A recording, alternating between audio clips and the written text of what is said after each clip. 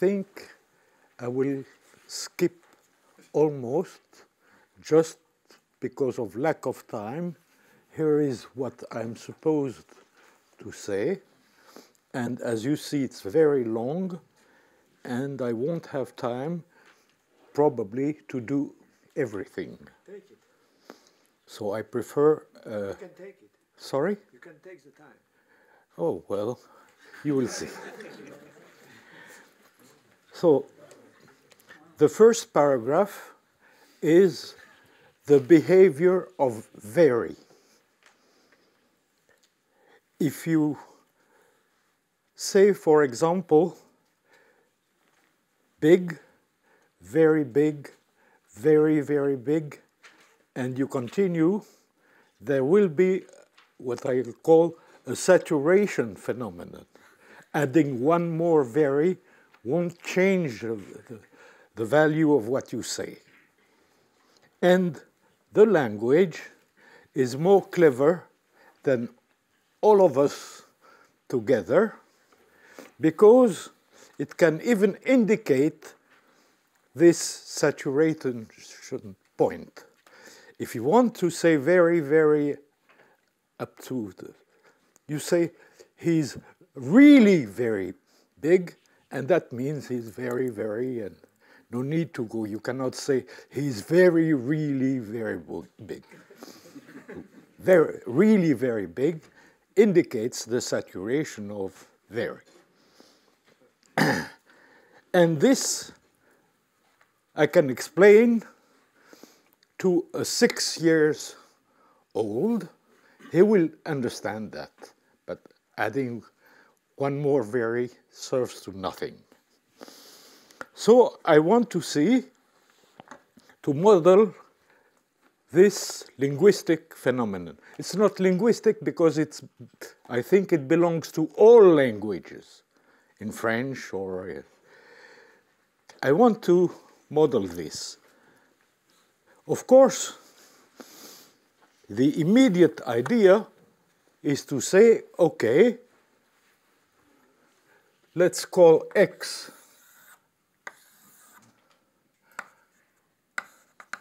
the set of adjectives to which very applies. so x is equipped with an endomorphism, which I call T because I'm French, and T is the initial of très. And this saturation phenomenon will be given by, for all x, there exists an n, number n, such that t to the n plus 1 of x equals t of x. It means Tn plus 1 is equal to Tn, sorry. Tn of x. Okay, that's very pleasant, but has nothing to do with the language. Why? Because if you write this thing, if, if there is an n, n being well ordered, there will be a smallest n. Nobody will agree on this smallest n. And I didn't put this in the data. I, I just said. So you mean the set of fixed points is really there? Sorry, could you? The, the fixed points are really there. Okay. So, certainly, this won't work in sets. So, we might try to see, because in sets, the natural numbers are well ordered. Okay, so we might try to say instead of sets, let's suppose that x is big X is an element of a Grothendieck topos. In that case, n is not well ordered, and this might work. Well, even in that case, it doesn't work. Why? Because, as I said, I can explain this to a five years old boy. He knows nothing about, or, or girl. Sorry, sorry, sorry. A, I'm speaking English. I, I had rather give this talk in French. So you will excuse me if my English is sometimes. Uh, so as I said, I can explain this to a five or six years person. and he will understand it. or she. But he has no idea at all about natural numbers. He doesn't know what natural numbers are. He doesn't know infinity. This can be said without any use of infinity. Therefore, it cannot be done in Grothendieck topos, because in Grothendieck topos, there is a nature numbers object. Okay? So, all this is elementary language. So, what can we hope for after that? Maybe nothing, maybe this is, will fail anyway, but we can try to work in an elementary topos without natural numbers object. Okay? Five years old knows. Sorry? The five years old is supposed to know about the elementary. Well, that was my problem to prepare this talk because I need, I shall show how I, I use them, I need elementary toposes. But nothing has been said here about elementary toposes, and maybe some people don't know what they are or how to use them. So I almost decided to cancel my talk because I don't like to speak just for my pleasure and with very few persons understanding. Note that I say persons. Okay. So I took this as a challenge. And when I finish, you will tell me if the challenge has been met. So, you don't know about elementary toposes. and I don't. I think I defined it in my talk. Sorry? I defined it in my talk and you were not there. Yes, but I mean, you didn't prove anything about uh, what I. no, I, I- it's true. You, I, I, I quoted uh, your uh, Mitchell Bénabou language Yes. and saying that one could use that to. okay, but but you didn't. So, but No, okay, but people here, just on the basis of your talk, which I liked very much, could not be able to follow what I say if they don't know how to use okay, the language. okay. So don't panic. the language will be the language of set theory. The Mitchell Bénabou language. Sorry? The Mitchell. Bénabou Yes, okay. Uh, I don't like giving names to things. If in the discussion we have the possibility, I'll, tell I'll tell you why Mitchell has nothing to do with that. I have proof of what I say. So it's, it's the naive language of set theory. The difference with the languages that Olivia presented to us is that it is not a first order language. it's a higher order language. You can quantify not only on elements, but on subsets. And for example, the most striking example is one of Peano's axioms, which I will certainly use, namely what characterizes n, many axioms, but the, more, the strongest one is that for every subset, so we, I quantify on subsets of n, if 0 is in S, and if Tx or Tn,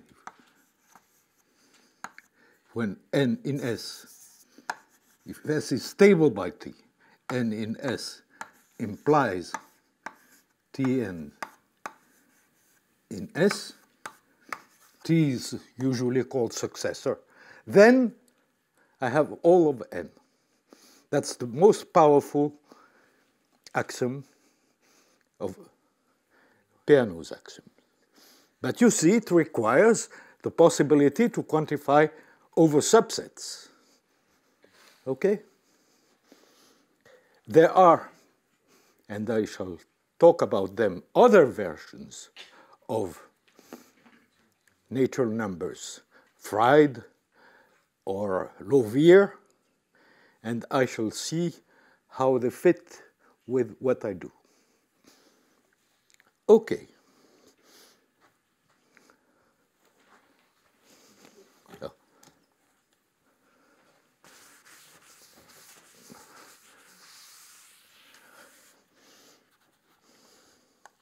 Now suppose X is equipped with an endomorphism.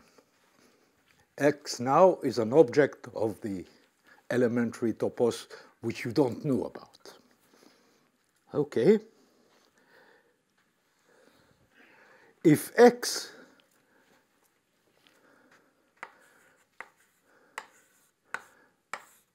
is in X, uh, let me first, if S is contained in X, I shall say that S is stable if T of S is contained in S. That no need. And now, if X is in X, I can take the intersection of all stable subobjects which contain X And this I shall call the orbit of x. Okay? What is this orbit? It's x, tx, ttx, etc. Okay? So we have the notion of etc. Take the orbit. And now, the axiom which I didn't want to write with sets or, or with uh, Grothendieck toposes or etc. or whatnot is for all x, the orbit of x has a fixed point. No need to say anything about natural numbers. Okay? So, the axiom for vary is an endomorphism such that each orbit has a fixed point. if you have objections, you just tell me. Uh, I- I'm, I'm confused. Uh, Sorry? uh, I am confused. Uh, Yes? Is this uh, uh, an axiom that you're putting on X? Or? No, I, I say if I want to express the phenomenon of vary as it is in the language, Okay. I can express it by saying for all x, the orbit of x. You say for all x, I mean, you know. So you could have one x which has a, which has a fixed point. Well, uh, I said I said vary has the property that very very very big is uh, very very very very rich stops. Very very that's the phen- the phenomenon. Maybe a source of confusion, Jean. Sorry? That you wrote capital X, uh, the counterpower looks like uh, For all little x, s- uh, element of X, right? That's small it. x, for all small Any x. element of x. Small x. Small X. Oh, okay. Okay, okay. If I have to write everything, I will never finish. Yes, please. So you're, you're looking at an object having this, uh, with equipped with an endomorphism, having this property that uh, all orbits uh, have have a fixed point. That's very has this. I, I axiomatize very by saying it is an object. Uh, very yes, is an endomorphism of an object which has the property that every orbit has a fix. Yeah, This can be said in the internal language of a topos. Of course. That's why I need. This can be said in the internal language of the topos. Since I have a specialist here, he might tell me, what if x doesn't have any element? But this is. Sorry? I say nothing if x has no elements, and I say uh, the orbit of every element stops. Uh, I say nothing.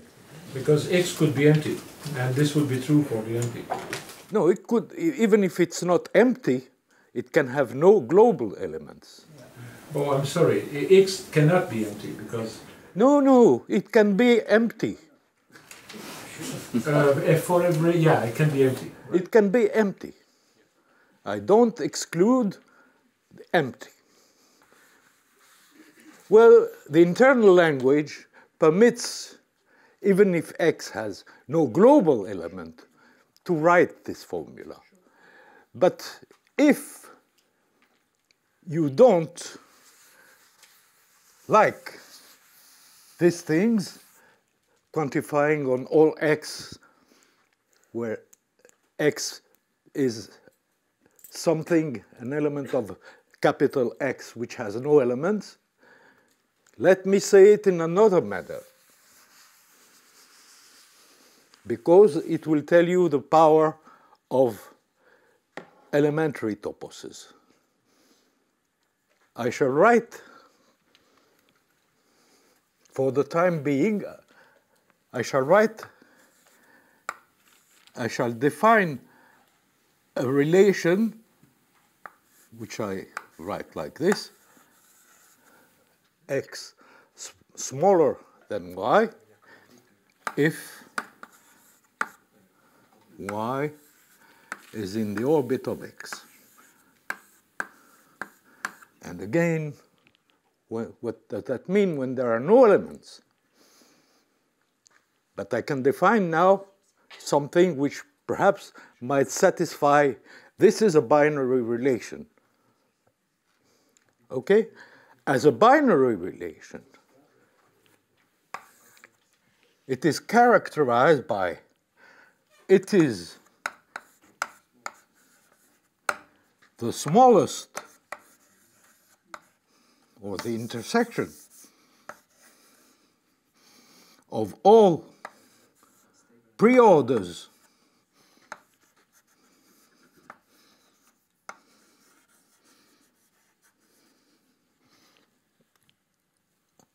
on X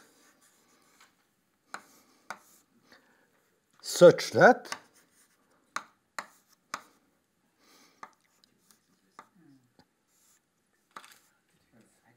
x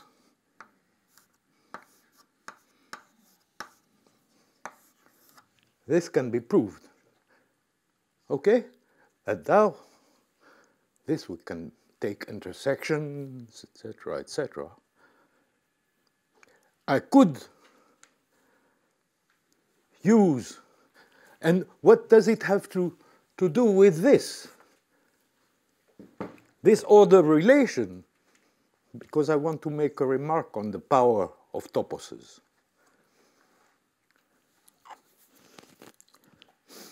This is a binary relation.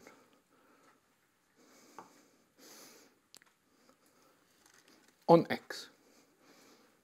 A binary relation on X can be viewed as a map from X to the power set of X. Okay? And what is this map? It's the map X gives O of x, and now I don't care. This is a binary relation, well defined, so now whether x has elements or doesn't have, I don't care. Okay?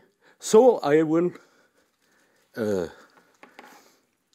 write as an abbreviation, if you want, that y in order x O of x is an abbreviation of x smaller than y for this relation. Okay? Now I think uh, one more remark, just a side remark, to show the power of elementary toposes. It has to do with families.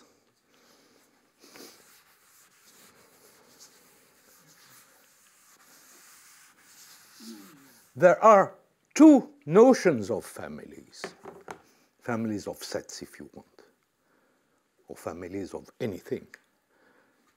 A family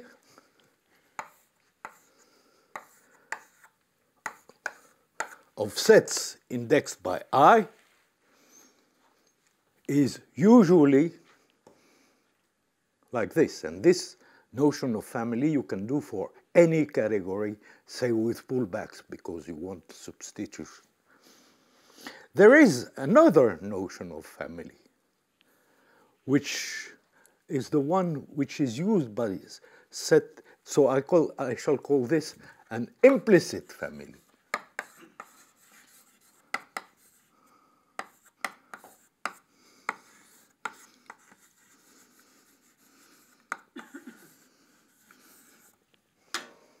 There is another notion of family, namely a family of sets indexed by i is a map from i into sets.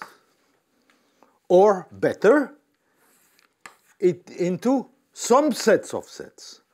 That's the uh, comprehension scheme which says well, if I have a map from I in two sets, I can.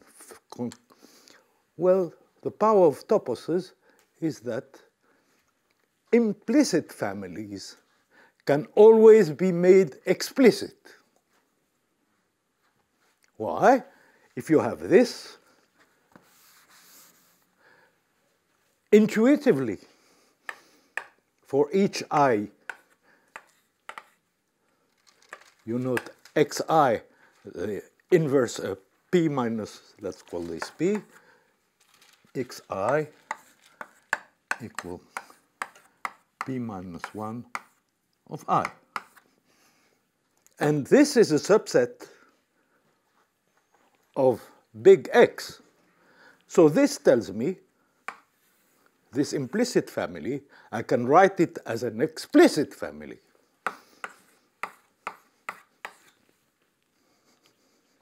And this is one of the most fundamental tools of toposes. Implicit families can be always made into explicit ones. Okay.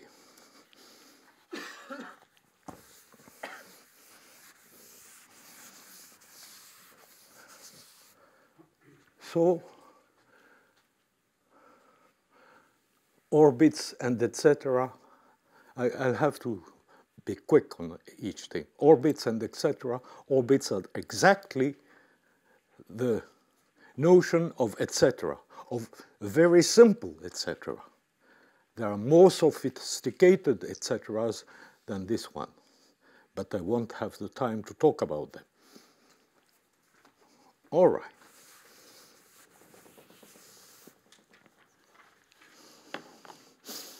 So the idea is to study in a topos an endomorphism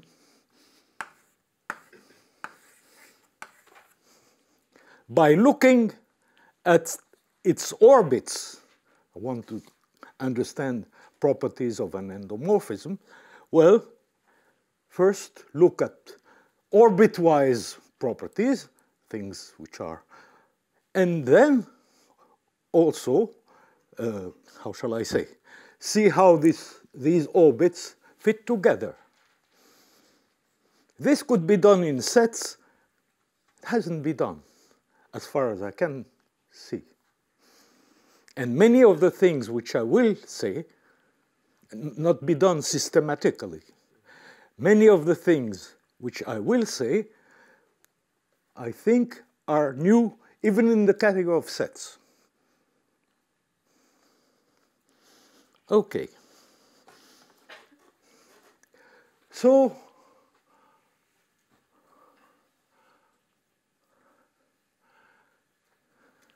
I shall call an orbit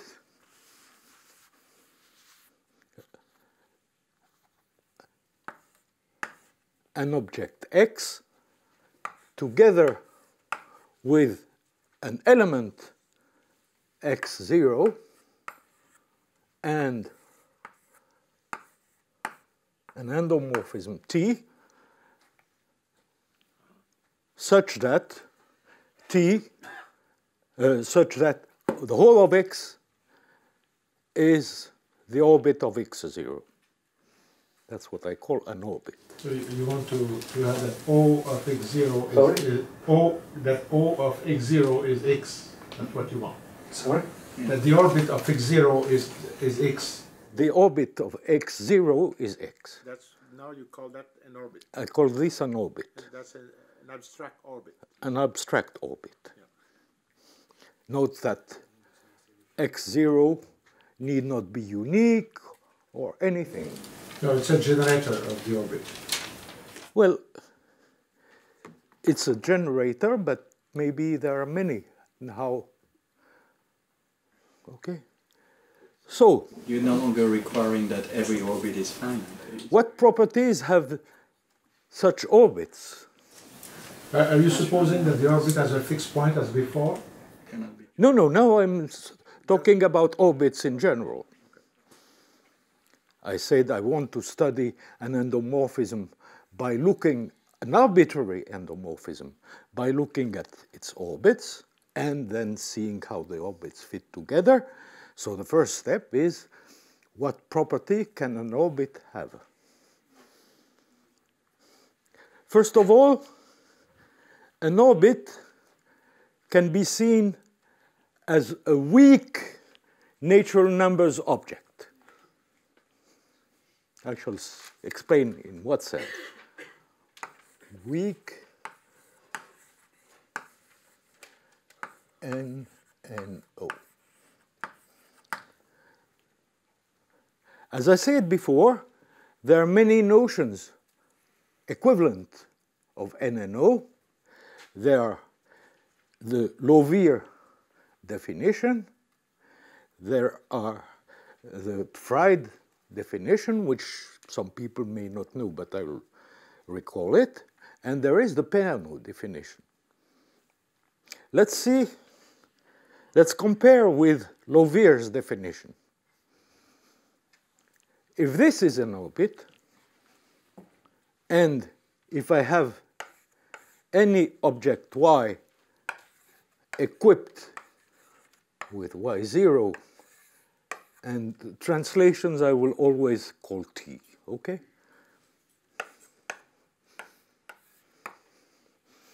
If this is an orbit, there is at most one f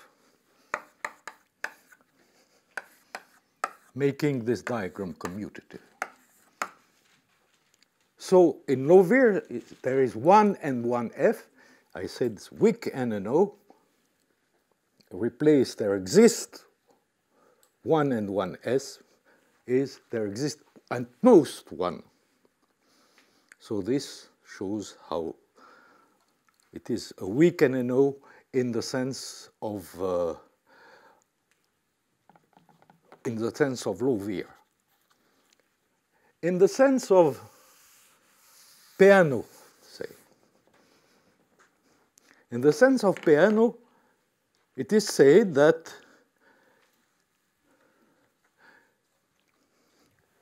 natural numbers satisfy the most important axiom of Peano, the fifth of recursion, and you add 0 is not a successor. Let's call S the image of T, S for successor. 0 is not a successor, and the map T is monic. And the big recursion axiom. Well, an orbit, and also that everything is either zero or a successor. In an orbit, what do we have from Peano's axiom? We have the big axiom, recursion axiom. But we also have that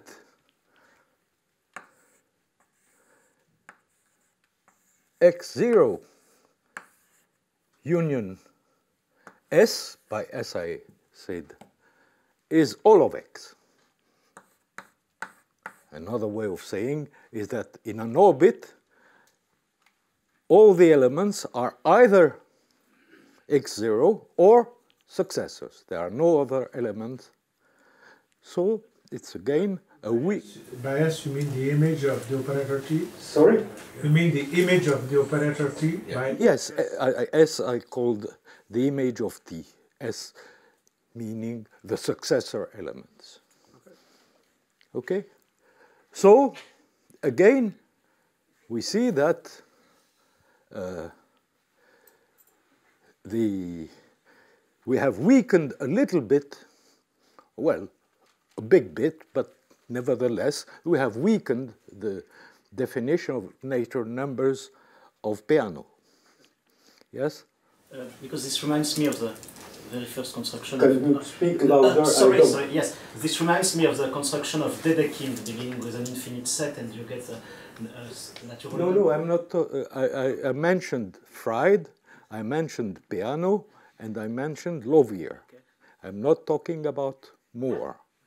Otherwise, I will No, be here tomorrow. What I mean is, if you have zero is not in S, you have a monic such as zero is not in S. I, then I, you can always in an orbit, a smaller one. zero can be in S. In an orbit, zero can be in S. Okay? Well, since you are mentioning this, I anticipate on something which I was going to say anyway. Namely, this. Suppose I don't even have to talk about orbits. Suppose I, have an endomorphism. I shall say that an element x is cyclic if t of x is in the orbit of x. What does that mean? Start with x, write tx, ttx, ttttx. Sometimes you come back to x. The other way I want to around. say x, x is in the orbit, other not way. tx. X is in the, is in the orbit. Mm-hmm. Yes. X is cyclic. If X is in the orbit, If, uh, sorry, your x is in the orbit of tx.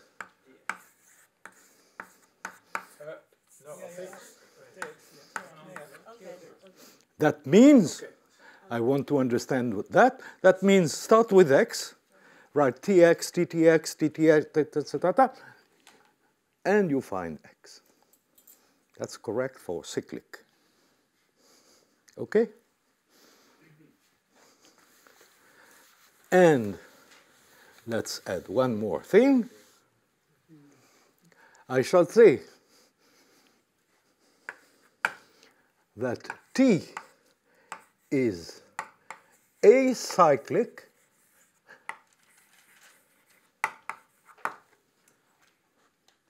if, not if it doesn't have any cycle. No, its negation doesn't work at all. A is acyclic if and only if, that's my definition,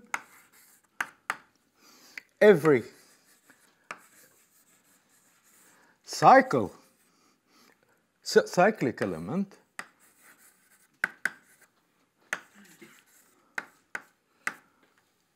is fixed, is a fixed point.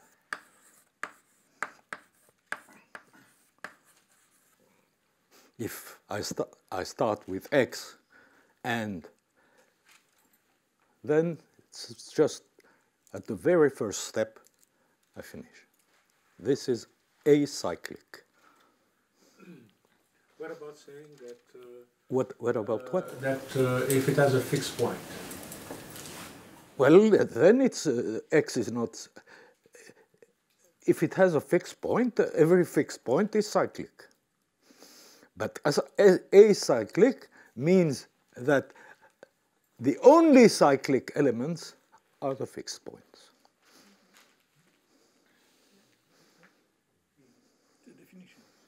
That's that's my definition. Okay. Let's call let's call C of x It will be true if there is no cyclic, cyclic point. the object of cyclic elements. Let's call fix x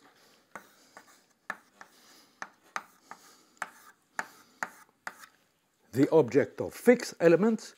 This one is very easy to describe, no need of uh, higher order. It's just fix x is the equalizer of the identity and t.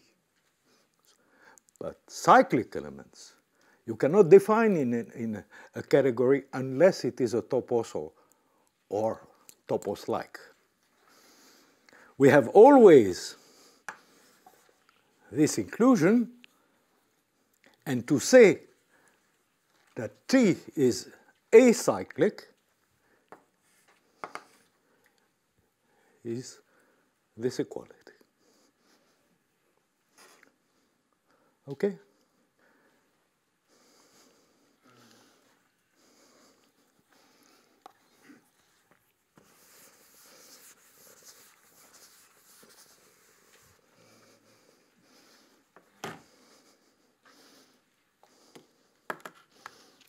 Just, I know everything, but I might forget a few elementary things.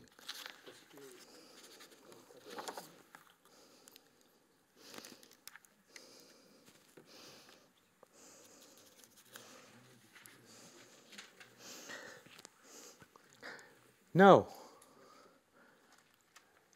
first theorem is that an orbit is acyclic if and only if the pre-order relation on the orbit is an order relation. Okay? have to be proved. It's not difficult. I'll come to a difficult question a little bit later. For example, the natural numbers, if they exist, are acyclic. Okay? Because the order relation induced by successor is an order relation. Well, again, we shall see. I said orbits are weak natural numbers. Let me give another example.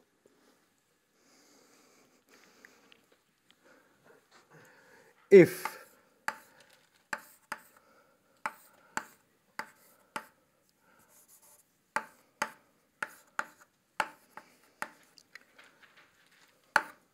is an orbit, then it is a monoid with one generator. And such monoids are commutative. So when you prove that the natural numbers is a, a commutative monoid for addition, etc., and has a generator, that's true for any orbit. So many things one proves for natural numbers are true for orbits or other, for example, for acyclic orbits, then you have a total order. Okay.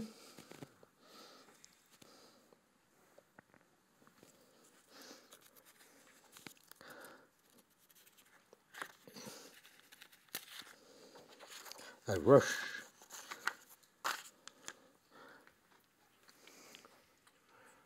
The fourth thing is killing the cycles.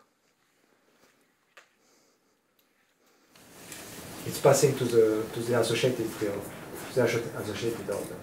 How do you do that? If you have a pre-order relation, you can take the associated order. So let's, let's write x equivalent to y if x smaller than y and y smaller than x. And let's write x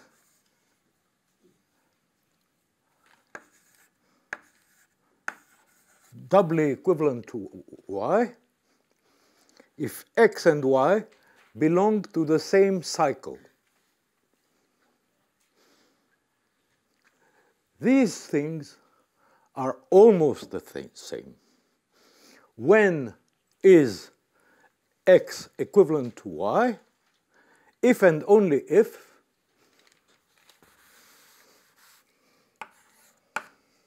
x equal y or x and y are cocyclic. This is, this relation is symmetric transitive, but not necessarily reflexive, because x and x need not be cocyclic if and yet they are equal. Okay? So,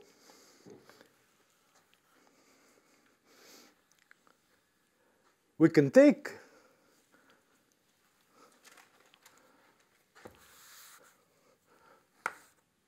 the quotient of x by this equivalence relation,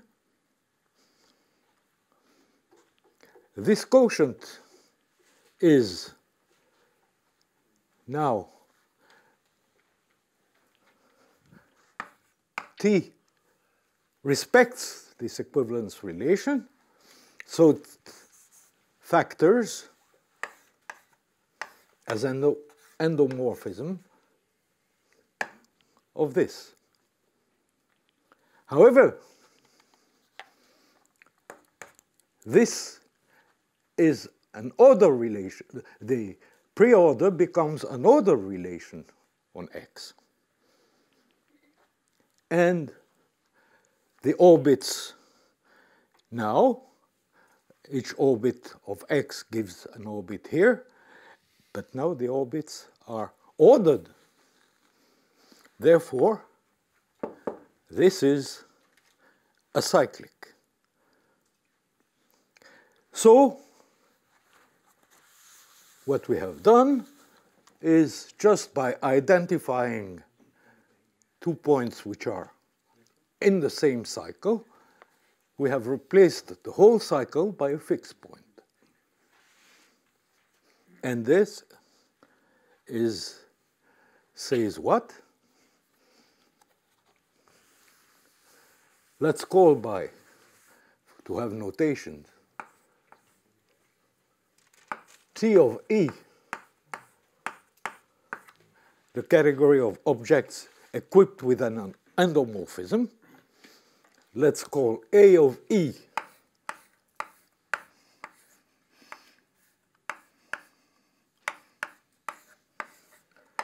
the subcategory of this formed only with a cyclic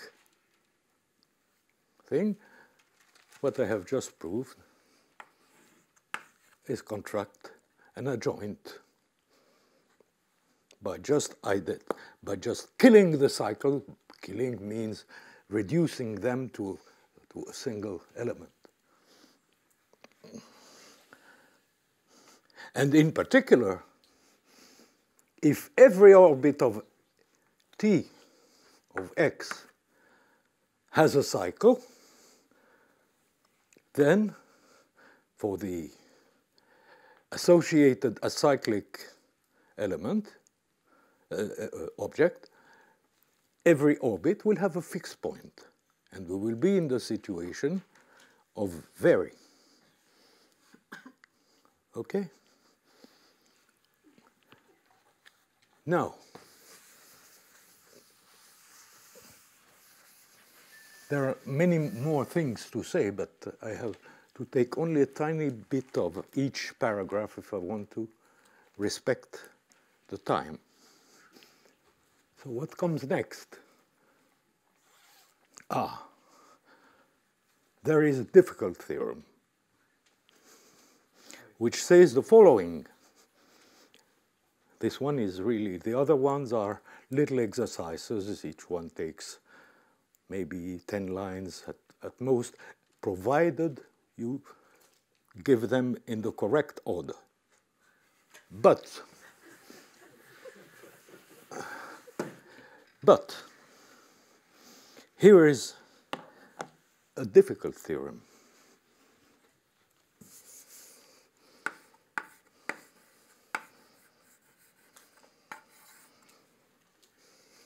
an orbit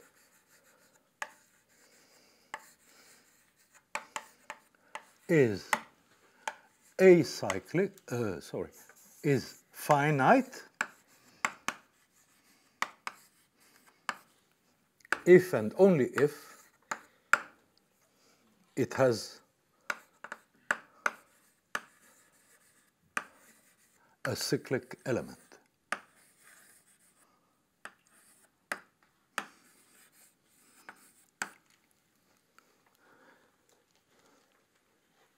That's, that's a fact. Why? When you say we have to finite, Yes. How do you? Def- uh, I'm sorry, I don't want to, to Yes. annoy you, but uh, just for the purpose of the talk, Yes. uh, can you tell how you define finite? Finite is Kuratowski finite. There is a notion of finite, but again, if you don't know elementary toposes, think of finite as finite. I, I, I, I want to, I want to speak things that people can understand. No, but you are, you are, if you don't have the axiom of choice, Sorry? If you don't have the axiom of choice, there the non-equivalent. I'm not saying anything about axiom of choice. No, but that's the why. What's your That, definition of for an finite? orbit, can the definition write are that? the same. Kuratowski. of an orbit. In an elementary topos, one defines Kuratowski finite elements, which in the case of sets are just the finite elements. In the case of Grothendieck toposes, they are a bit more complicated. But think of them as finite. Well, that's all I can do. Yeah, it will be good for the purpose of your talk. Sorry? It will be good for the purpose of your talk that if uh, someone writes down the notions of Kuratowski finite on the blackboard. Maybe you don't want to do it, but Olivia is ready to. I, I, I, I, don't, I don't care, provided she doesn't take on the, my time of talk. No, no, no. Um, well, it is, in a sense, in a sense, first, it is difficult but it is it has some philosophical connotations that means that this abstract definition of finiteness or even in set the definition of finiteness has something to do with orbits with etc finite has something to do with etc. Orbits are axiomatization of etc.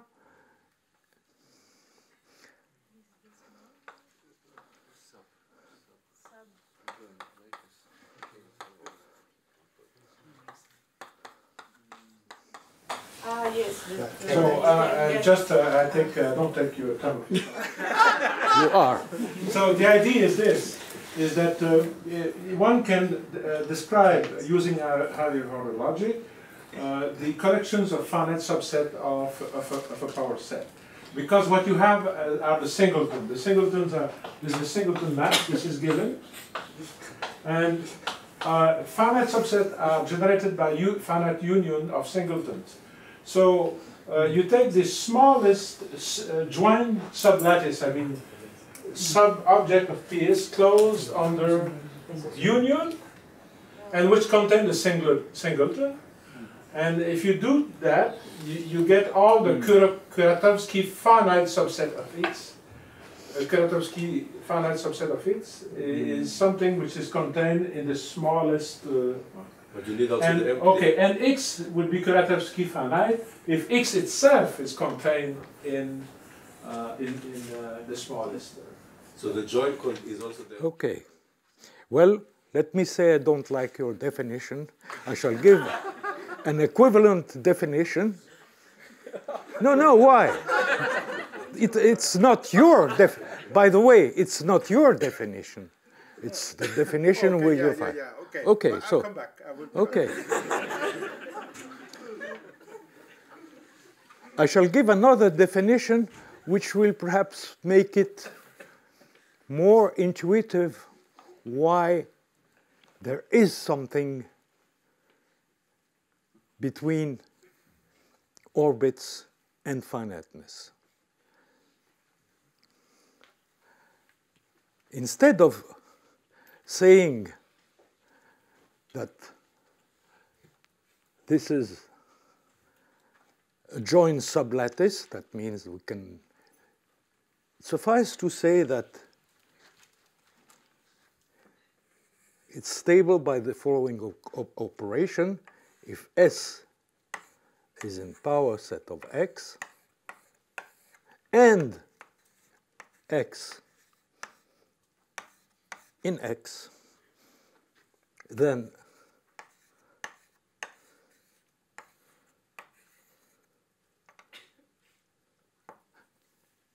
It's stable by not taking the union of two things, taking the union of one thing and a singleton.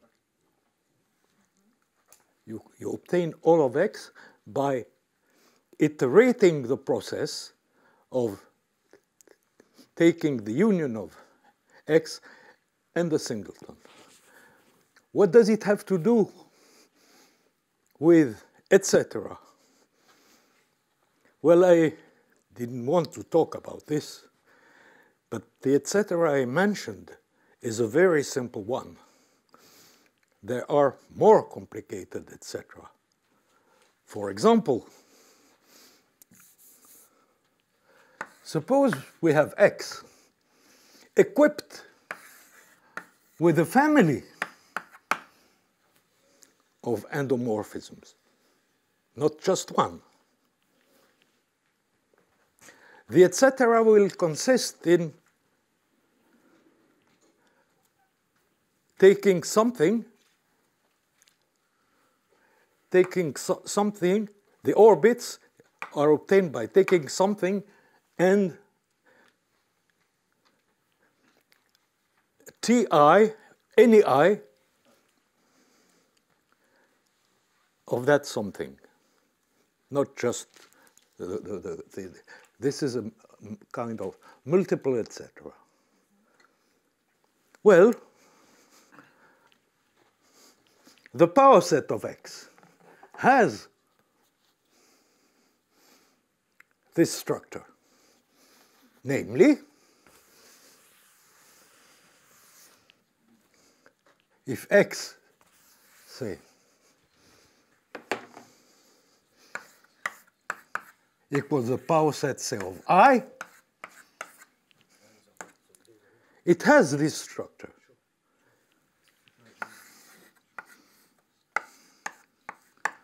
By taking Ti of a subset with I in I equal the subset union I.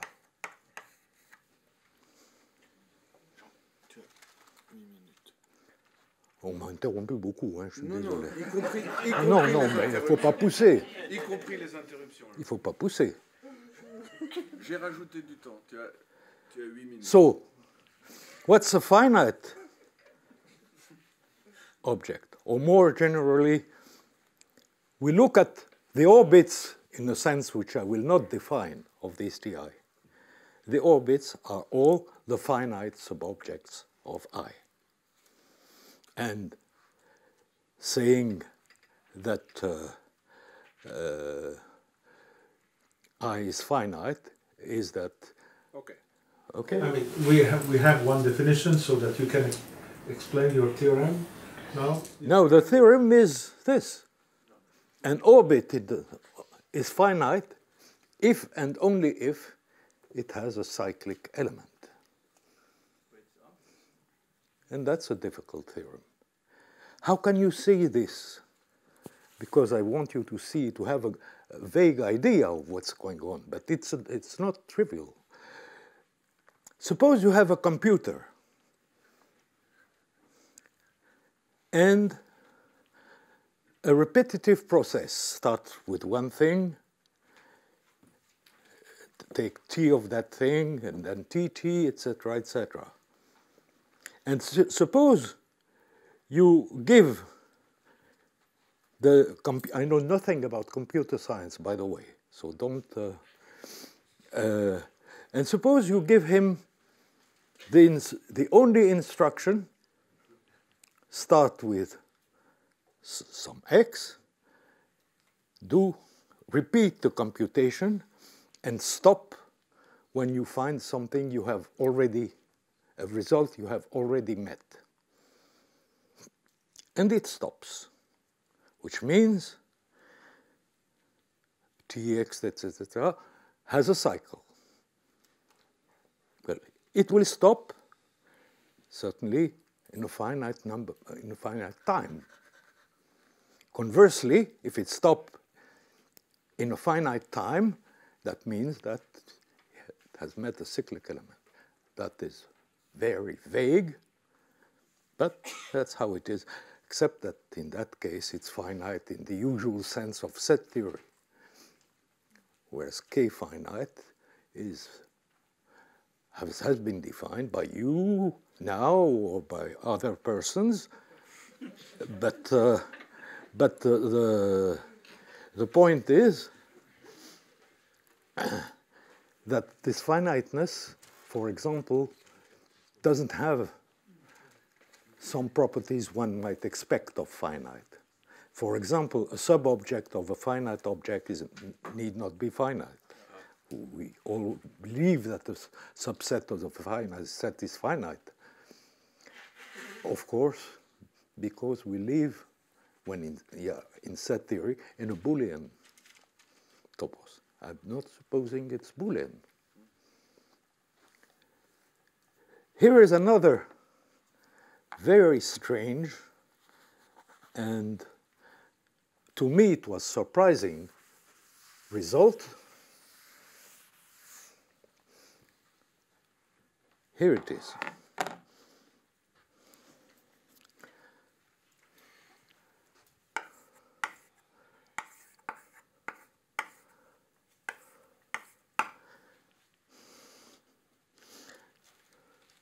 Suppose x is smaller than y.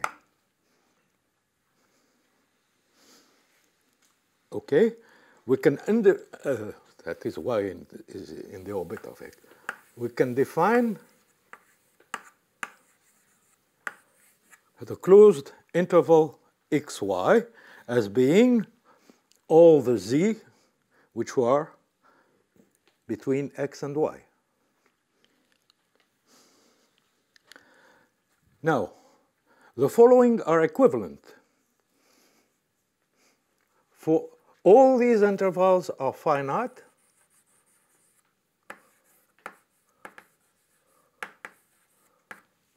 is equivalent to all the xx are finite.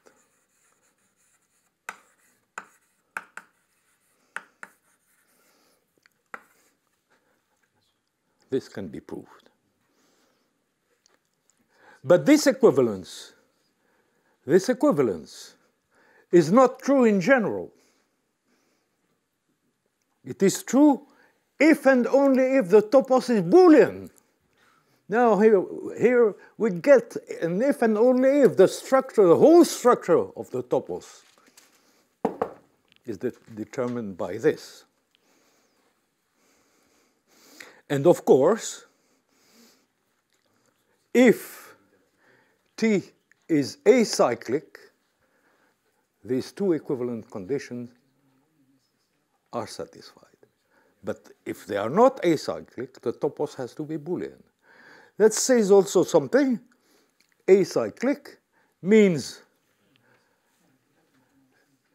maybe there is no fixed point. If there is a fixed point, okay, it's acyclic. But maybe there isn't. For example, for the natural numbers, there is no fixed point. However, every interval of the natural numbers, closed interval, is finite. We know that for the natural numbers, but we know it now for every acyclic orbit. Not only the thing which goes all the way, the orbit which goes all the way to the fixed point, if there is a fixed point, is finite, but all the intervals are finite. But the surprising thing is that Booleanness is needed unless you assume the orbits, the, the thing is acyclic. Booleanness is needed in general for this equivalence. So again, some properties of etc. imply properties of the whole topos. Now,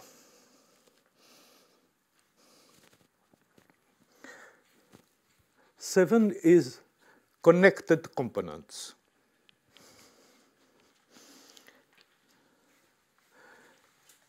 In this case, I shall give an idea of the proof because I like it and because it doesn't take a long time.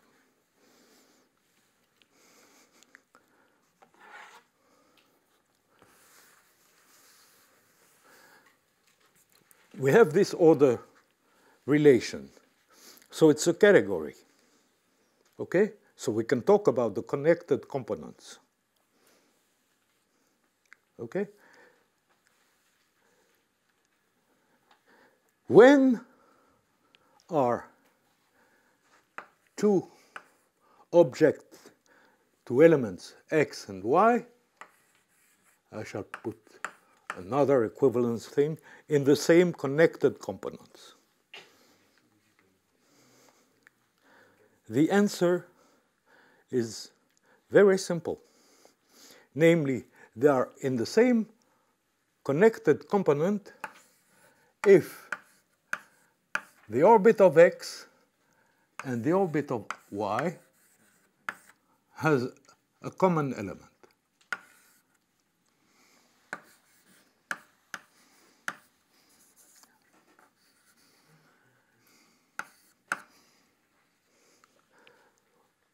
I shall give a proof. It's not so obvious unless I miss something.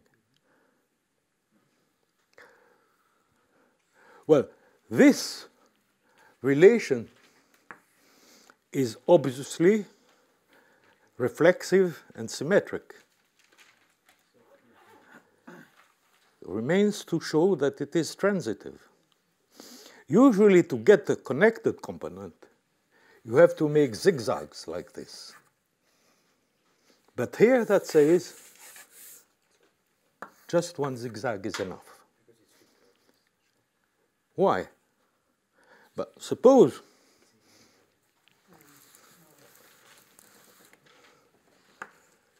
x, y, z.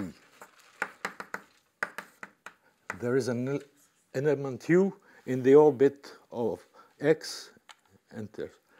And there is an element v here in the orbit of z intersect the orbit but these u and v are both in the orbit of y. And we have seen that in an orbit, the preorder is a total preorder. So we have either u in the orbit of v or v in the orbit of u. But then that's trivial to check that it is transitive. Okay, so pi 0 is. Uh, here is one more thing, one more application of the orbits. Suppose we have x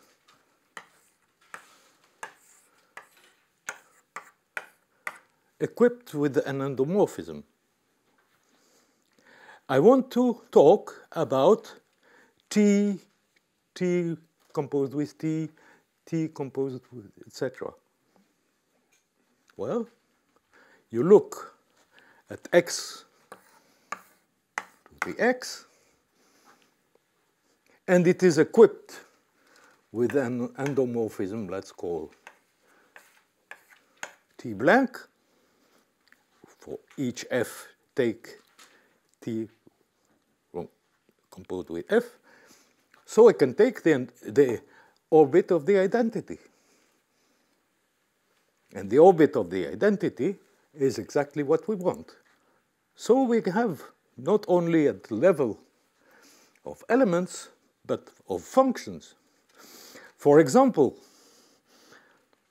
suppose you want to, suppose you say, okay, with natural numbers. I can write for all x there exists an n such that tn plus 1 of x equal tn of x. But suppose I want to say something more. Namely, not for all x there exists an n, but there exists an n for all x, which is good enough for all x.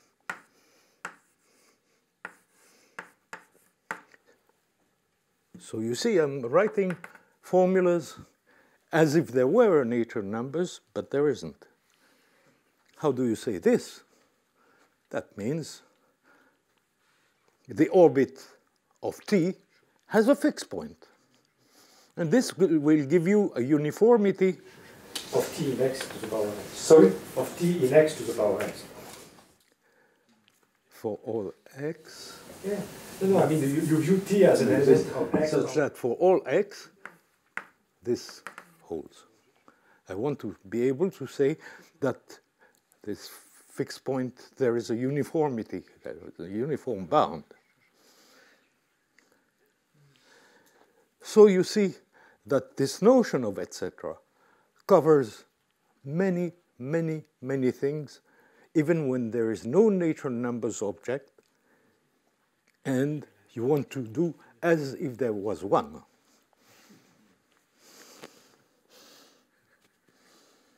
So this orbit, orbit of the identity along T, I shall call it the leading orbit, and what property does it have? This, for every x, the leading orbit maps surjectively on the orbit of x.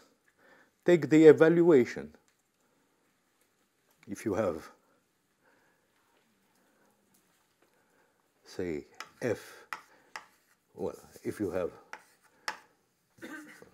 f in the orbit of T, of uh, around, in the leading orbit, let me call it O of X, the leading orbit, then for each x, evaluate f at x, and this is a mapping of this into the orbit of little x. And we know that such mappings are unique. And we know they are surjective. So every orbit of any element is a quotient of this leading orbit.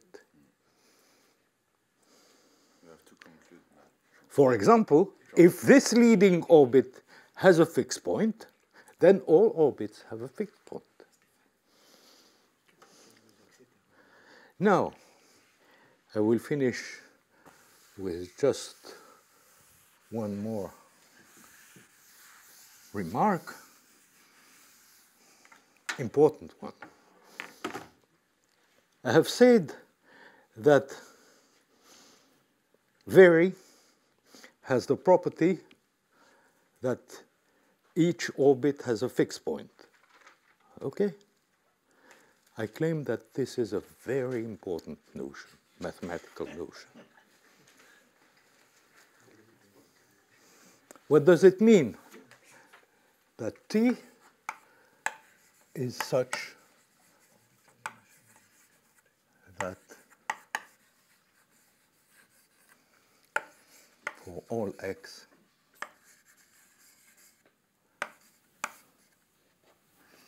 the orbit of x has a point.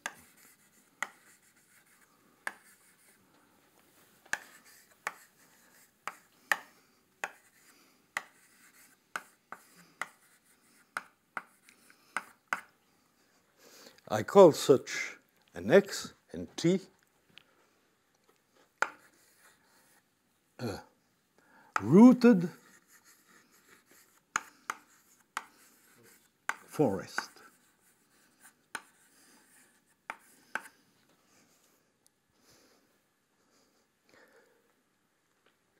Why? Each connected component is a rooted tree, which means all the orbits are finite, have a fixed point, etc., etc. That's the correct definition of a tree. So it's important. This says that very is a rooted forest. I think I have.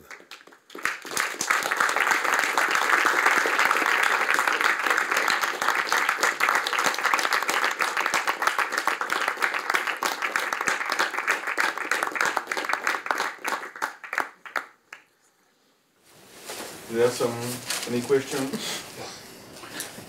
So uh, during the lecture, uh, it was mentioned uh, uh about. Uh, if you will, please speak louder. I don't. I'm hard of hearing. Okay. So you mentioned the definitions of natural number objects in a topos. Uh, you mentioned the names of Freyd, Lawvere, and Peano. Is it possible to give the three definitions precisely? So I want to know the three definitions of. An elementary topos? Well, I suppose it is an elementary topos. I'm not sure. I'm not sure. Il faut les, les, les axiomes de Peano dans un topos. Non, non. Les, axiomes de Peano dans un topos, c'est, c'est les axiomes de Peano que tout le monde connaît. Non, mais il y a trois formes.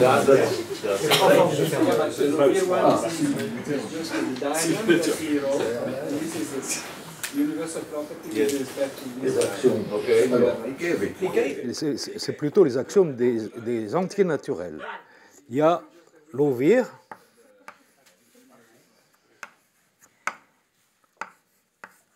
c'est un, un machin mini d'un endomorphisme S et d'un élément 0 qui est universel pour ces propriétés-là.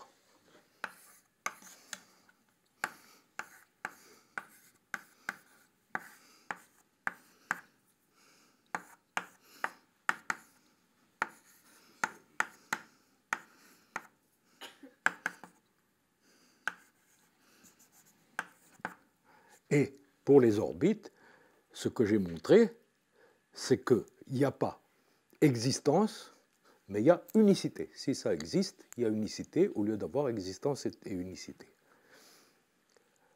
Les axiomes de Peano, c'est quoi? C'est 0 n'est pas un successeur, le successeur est, un, est, un, mono, et tout est ou 0 ou un successeur. Ce qui se dit très joliment d'un seul coup, en disant que je regarde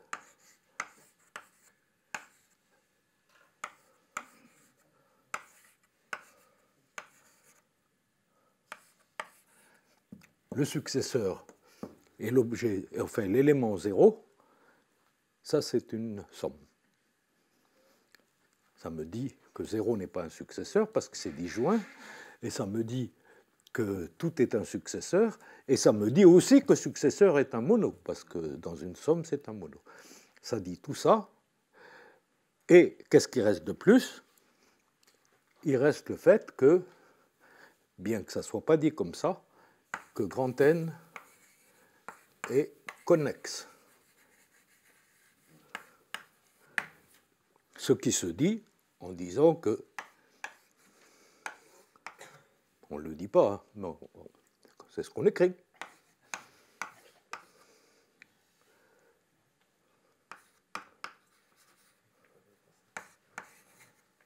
Le coégalisateur, c'est 1.